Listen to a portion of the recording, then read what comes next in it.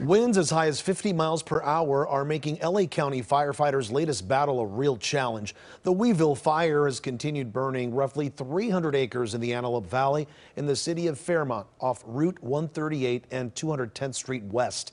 This now is video taken by LA County Fire. They had more than 250 firefighters, three fixed wing aircraft, and several water dropping helicopters on it. But all the aircraft have since been released. Winds are still whipping between 40 and 50 miles per hour, but the department says they've now been able to stop the fire's forward progress.